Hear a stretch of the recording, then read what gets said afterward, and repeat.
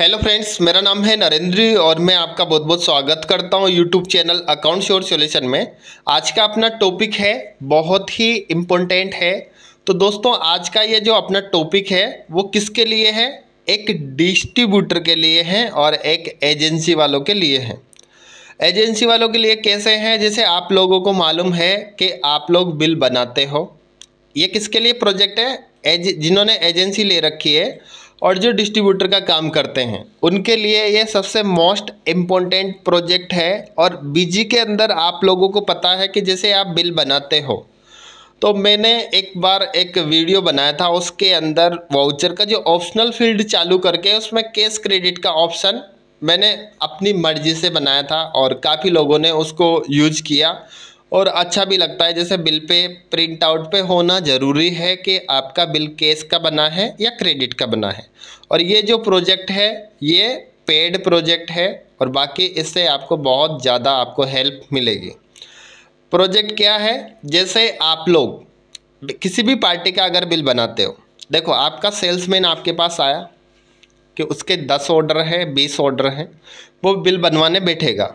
तो उस केस में किसी पार्टी का केस का बिल होता है तो किसी पार्टी का क्रेडिट का बिल होता है।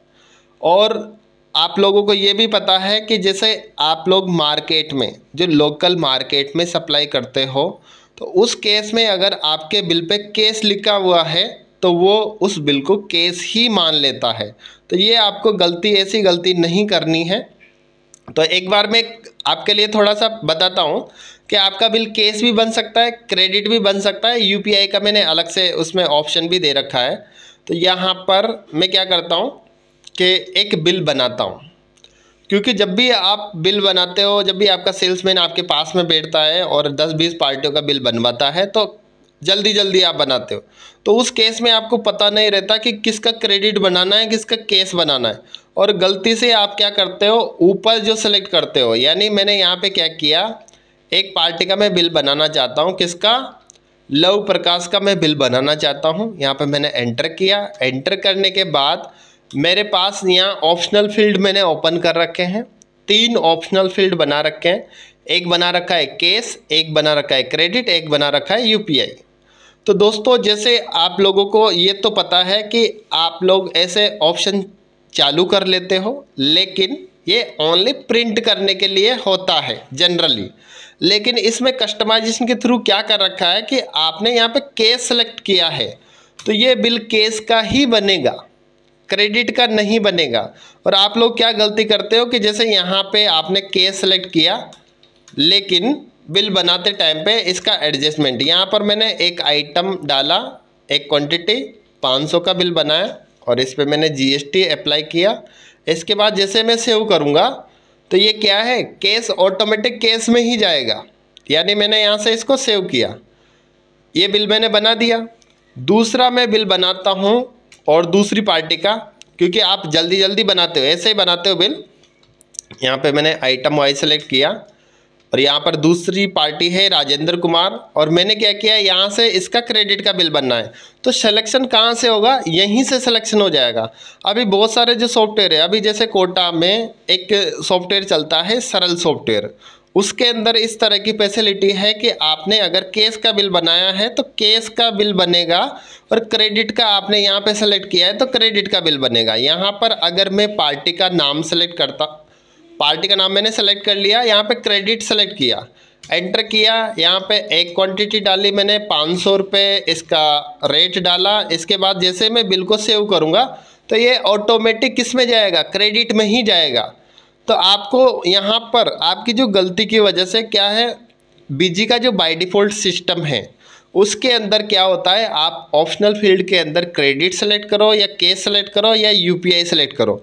सीधा सीधा वो आपके फ़र्स्ट ऊपर ही जाके रुक जाता है। यानी पाँच सौ नब्बे यहाँ आता है। तो आप जैसे इस तरह का प्रोग्राम अगर आप बनवाते हो तो उसमें आपको बहुत ज़्यादा फैसिलिटी मिलेगी। फैसिलिटी कैसे मिलेगी? कि आप लोग जैसे जल्दीबाजी में बिल बनाते हो और यहाँ से आपने यहाँ से इसमें केस में डाल दिया, कभी यूपीआई में डाल दिया, कभी बैंक में डाल दिया तो इस तरह की गलती होती रहती है। तो यहाँ पर अगर मैंने इसको क्रेडिट सेलेक्ट किया है तो पाँच सौ नब्बे रुपये किसमें आया? क्रेडिट में ही आया, ऑटोमेटिक आया है। ये मैंने इसमें कुछ भी नहीं किया। इसके बाद मैं नेक्स्ट बिल और भी बनाता हूँ। यहाँ पर मैंने क्या किया?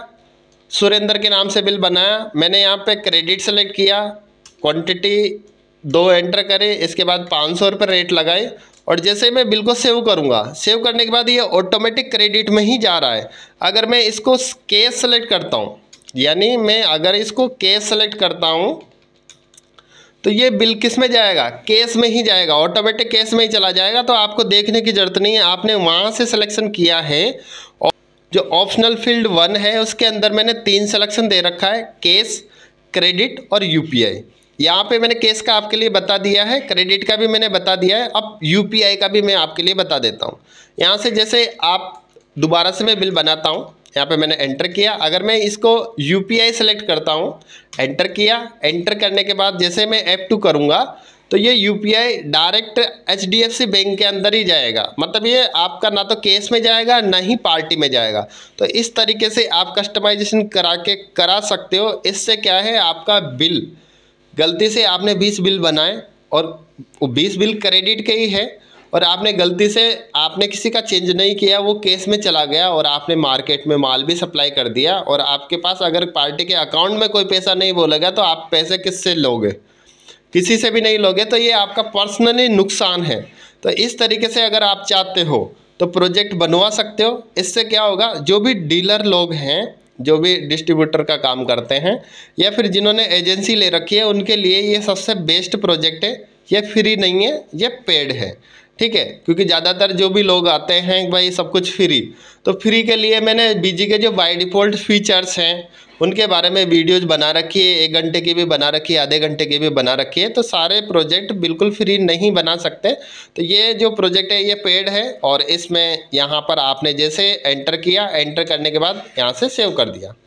तो अब इसका फ़ायदा क्या होगा? देखो, यहाँ से आपने केस क्रेडिट ये सारा सब कुछ बना दिया। अब इसका अगर आप डिटेल्स देखते हो कि आज के दिन में मेरे केस के बिल कितने बने हैं। अब ये भी प्रॉब्लम्स आती है लोगों को कि आज की डेट में 20 बिल बनाए। 20 बिल में से उनके पास केस पैसे कितने आने हैं? जो भी सप्लायर्स है, उससे अगर माल का पैसा लेना है तो वो कैसे चेक करेंगे? कितने पैसे लेने? तो यहाँ पर एक बीजी ने एक स्पेशल रिपोर्ट दे रखी है। डिस्प्ले पे आपको क्लिक करना है। अकाउंट समरी पे आपको क्लिक करना है। इसके बाद यहाँ पे सेटलमेंट समरी का ऑप्शन है। एंटर किया एंटर किया। एंटर करने के बाद सेल सेलेक्ट किया। डेट रेंज आपने डाले एंटर किया। एंटर करने के बाद केस के बिल पाँच सौ नब्बे रुपये के आपके बने हैं। इसके बाद ये जो दूसरा डाल रखा है, ये आपका है U P I first second number U P I है और थर्ड नंबर क्रेडिट का बिल आपने जो बनाया जो।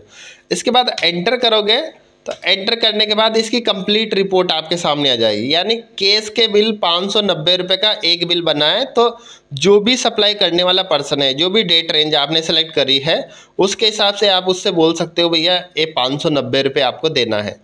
दूसरा नंबर, ग्यारह सौ अस्सी रुपये का जो बिल बना है, वो किसमें बना है? यू के अंदर। यानी फ़र्स्ट, सेकंड जो सेटलमेंट है, उसके अंदर बना है तो ग्यारह सौ अस्सी रुपये का। और जो उधार का आपने बिल बनाया है, वो कितना बना है? चौरासी हज़ार उनसठ रुपये छाछठ पैसे का आपका उधार का बिल बना है और टोटल आपकी जो सेल हुई है पिचासी हज़ार आठ सौ उड़तीस रुपये तो इस तरीके से आप पता लगा सकते हो कि आज की डेट में आपके केस के बिल कितने बने हैं, क्रेडिट के कितने बने हैं, यूपीआई में कितना पेमेंट आया है। तो ये सारी डिटेल्स आप बिज़ी सॉफ्टवेयर के अंदर से निकाल सकते हो, लेकिन ये जो मैंने सिस्टम आपके लिए बताया है कि आप लोग ऑप्शनल फ़ील्ड जैसे ही आप सेलेक्ट करोगे, उसके अकॉर्डिंग ही आपका बिल का जो सेटलमेंट का विंडो है ऑटोमेटिक अमाउंट उसी में चला जाएगा। तो ये बहुत अच्छा प्रोजेक्ट है। अगर आप को इस तरह का रिक्वायरमेंट है तो आप मुझे कॉल कर सकते हो, या फिर आप मुझे टेलीग्राम पर भी संपर्क कर सकते हो। तो दोस्तों, आज की वीडियो आपको कैसी लगी कमेंट करके ज़रूर बताएँ। अगर आपको वीडियो अच्छा लगा है तो वीडियो को लाइक और शेयर ज़रूर करें। Thank you.